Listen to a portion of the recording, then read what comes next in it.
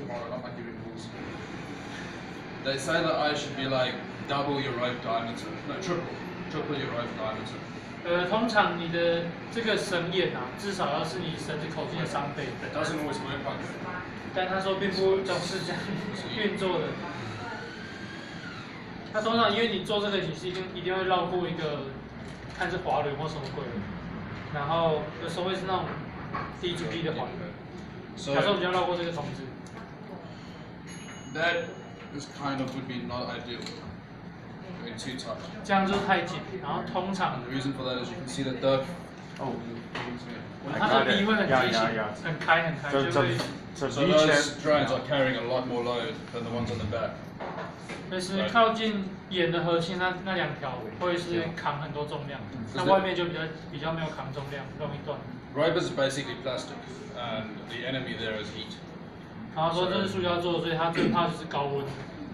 The more friction we get, the weaker anything is. That's why knots are so weak because you generate so much friction. 他说就是他们有摩擦的时候是会有温度嘛，那就是为什么绳结会那么脆 You can see 弱 that one，there 因为 is 它会有很多单点的摩擦跟 tighter than 热 that, right?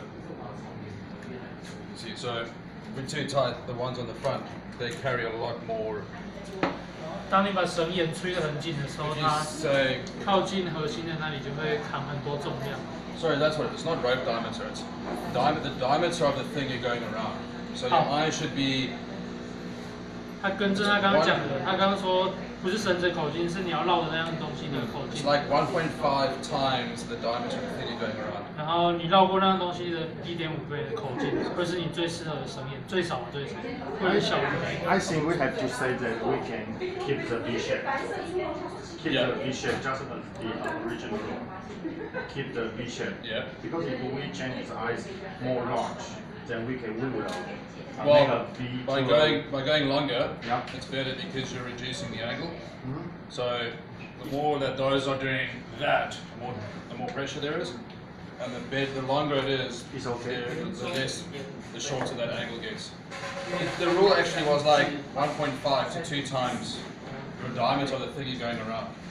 Now, so um, uh, 一般的规定来讲是说保径的一点五倍到两倍之间，所以是。所以看起来，眼眼也不能随便改变大大小，跟绳子设计一样。